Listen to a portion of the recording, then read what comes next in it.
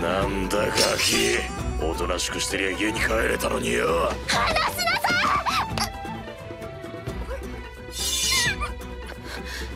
い。その女の子を返してください。それはできませんエリスお嬢様には言ってもらわねばならないところがあるのです。お前思ったより魔術が使えるみたいだな。こっちにつけよ。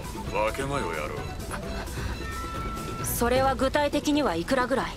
アスラ金貨100枚でいかがですか？それは魔法大学の入学金2人分よりも高いんですか？そうですね。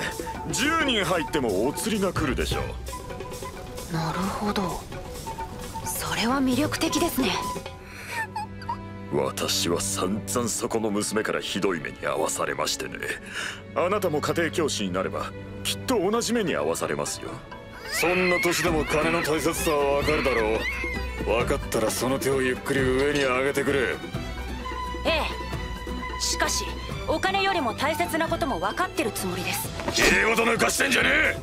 綺麗事じゃありません。なあ！思えば俺は今まで金の心配など全くしない生活をしていた。20年近いニート生活。エロゲとネトゲにまみれた俺の半生その狭い経験でならわかる。ここでお嬢様を裏切ることの意味。ここでお嬢様を助けることでつながる展開。金じゃデレは買えないんです！はあ？おっとしまった。本音が漏れた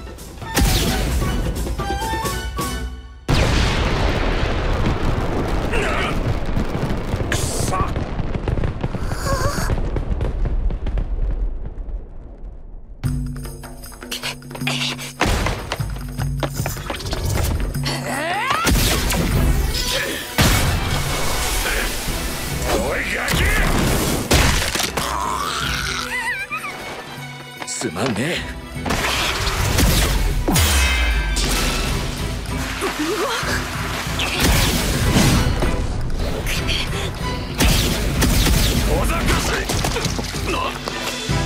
よし勝った。逃がす破れかぶれじゃない。パウロが言っていた。